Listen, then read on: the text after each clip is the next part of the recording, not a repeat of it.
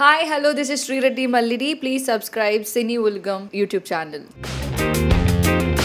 So இன்னைக்கு big pass ஷோவுக்கான மூணு ப்ரோமோ வந்துருச்சு. இந்த மூணு ப்ரோமோவையும் பாக்குறப்போ பிக் பாஸ் தான் ரியல் நாரதர் அப்படிங்கறத தெளிவா ப்ரூவ் பண்ணிருக்காரு விஷம் விஷம்னு ஜனனியை தான் சொல்லுவாங்க. ஆனா மொத்த விஷயமும் பிக் பாஸ் மட்டும் தான் போல. இந்த வாரம் என்ன பண்ணிருக்காரு பாத்தீங்களா எலிமினேஷனுக்கான நாமினேஷனுக்கு வீட்ல இருக்க ஹவுஸ்மேட்ஸ் எல்லாத்தையும் யாரை எவிக் பண்ணணும்னு நினைக்கிறோமோ அவங்கள கூப்பிட்டு முன்னாடி நிக்க வச்சு அவங்க கிட்டயே ரீசனை சொல்லி எவிக் பண்ணணுமா? இப்படி சொன்னா எவ்வளவு பெரிய சண்டை வரும். சென்ட்ராயன் சொன்ன மாதிரி ரத்த ஆறு ஓடத்தான் போகுது போல. ஃபர்ஸ்ட் ப்ரோமோவை பொறுத்த வரைக்கும் சென்ட்ராயன் மும்தாஜையும் வைஷ்ணவியையும் எவிக் பண்ணாரு. பொன்னம்பலம் டேனியையும் யாஷிகாவையும் எவிக் பண்ணாரு. டேனி வைஷ்ணவிய எவிக் பண்ணாரு. இன்னொருத்தர் யாரை எவிக் பண்ணாருன்னு தெரியல. என்ன விஷயம்னா most of the time evict ஆயிருக்கிறது யாருன்னு பார்த்தா வைஷ்ணவி தான். வைஷ்ணவி டேனி யாஷிகா இவங்க மூணு பேர்த்தோட முகத்துல தான் நிறைய மார்க்ஸ் இருந்தது. சோ இவங்க மூணு பேரும் எவிக்ஷன் ப்ராசஸ்க்கு வர்றதுக்கான வாய்ப்பு அதிகமா இருக்கு. அதுலயும் வைஷ்ணவியோட பேரை கன்ஃபார்மே பண்ணிக்கலாம் போல. கண்டிப்பா இந்த வாரம் வைஷ்ணவி மட்டும் எவிக்ஷன் ப்ராசஸ்ல வந்துட்டாங்கன்னா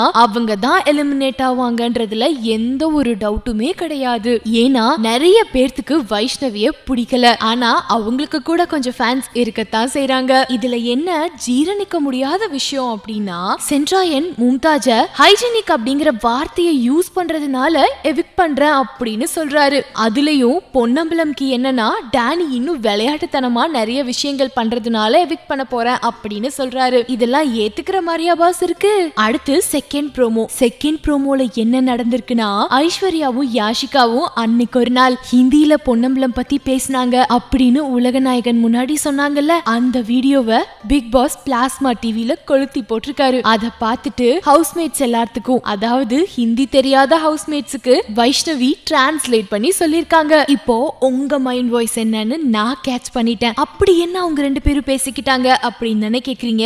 ஐஸ்வர்யா சொல்லிருக்காங்க அந்த கிழவை நம்ம கிட்ட அடி வாங்க போறான் அப்படின்னு. அன்னைக்கே எபிசோட்ல சொல்லிட்டாங்க பொன்னம்பலம் பத்தி தான் பேசினேன்னு. அதுக்கேத்த மாதிரி பொன்னம்பலமும் வயசானவர் தான். அவரு தான் நம்ம கிட்ட அடி வாங்க போறாரு அப்படிங்கிற மாதிரி மீன் பண்ணி தான் ஐஸ்வர்யாவும் யாஷிகாவும் பேசியிருக்காங்க. இந்த விஷயத்த பிக் பாஸ் போட்டு காட்ட மாட்டாரு அப்படின்னு நினைச்ச இவங்க ரெண்டு பேர்த்துக்கும் பெரிய ஷாக் தான் இந்த குறும்படம். இத பாக்குறப்பவே செம்ம ஷாக் ஆகுறாங்க ஐஸ்வர்யா. அதுக்கேத்த மாதிரி வைஷ்ணவி வீட்ல இருக்க எல்லாத்துக்கிட்டையும் சொல்ல உடனே வைஷ்ணவி கூட போய் சண்டை போடுறாங்க. ஐஸ்வர்யா அதோட செகண்ட் ப்ரோமோ முடிஞ்சது. தேர்ட் ப்ரோமோல என்ன காட்டியிருக்காங்க அப்படின்னு பார்த்தா ஐஸ்வர்யாவுக்கு பைத்தியமே பிடிச்சிருச்சு போல. ஐஸ்வர்யா சொல்றாங்க நான் யார பத்தியும் பின்னாடி பேச மாட்டேன் அப்படின்னு. அதுக்கு சென்றாயன் கிட்ட வைஷ்ணவி சொல்றாங்க ஆமா நான் கூட நீ நல்ல பொண்ணுன்னு தான் சொன்னேன் அப்படின்னு. சென்றாயன் பதில் சொல்லாம தலையாட்டின உடனே அண்ணன் சொல்லுங்க அண்ணன் அப்படின்னு சொல்றாங்க வைஷ்ணவி. உடனே சென்றாயன் ஆமா ஆமா ஆமா அப்படின்னு சொல்லி வேகமா கத்துறாரு. அங்க ஒரு கட்டு வச்சதுக்கு அப்புறம் ஐஸ்வர்யா இருக்காங்கல்ல? ஐ டோன்ட் கேர்னு சொல்லிட்டு லூசு மாதிரி கத்திக்கிட்டு ஓடுறாங்க. அதுக்கிடையிலயும்